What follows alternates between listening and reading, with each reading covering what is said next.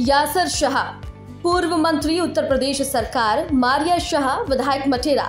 Samajwadi party Bahraich की ओर से सभी क्षेत्रवासियों व प्रदेशवासियों को होली की हार्दिक शुभकामनाएं